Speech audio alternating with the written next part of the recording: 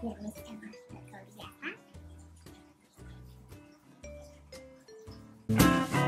aksi curhat-curhat ini sering sekali kita alami dan dilakukan oleh peserta Zoom online. Itu karena mereka bisa melihat menggunakan uh, fitur annotation di Zoom berserta sehingga mereka bisa melakukan aksi coret-coret, menggambar yang sangat mengganggu proses belajar mengajar, mengganggu peserta didik lain, mengganggu guru juga. Nah, untuk mengatasi hal ini, saya ingin berbagi tips bagaimana menghilangkan fitur ini sehingga kejadian seperti ini tidak terjadi lagi dan anak-anak bisa lebih fokus dalam belajar online. Yuk, mari kita lihat bagaimana.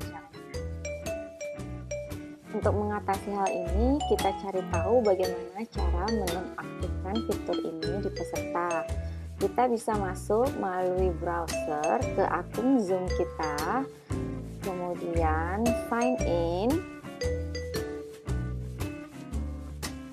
masukkan alamat email dan password yang didaftarkan. Kemudian klik sign in.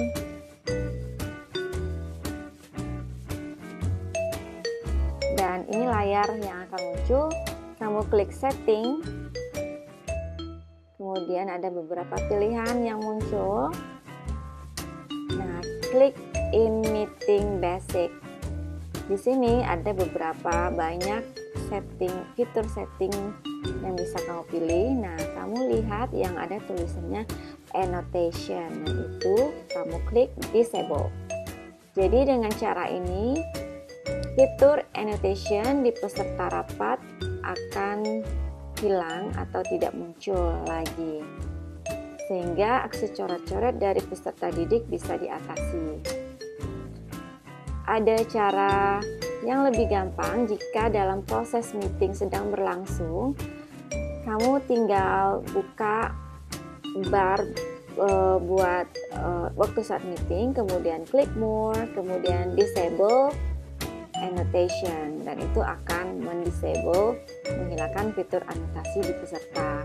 Mari kita lihat ini layar peserta sudah tidak ada lagi fitur annotationnya. Sekian dari video dari saya, semoga bisa membantu. See you on my next video.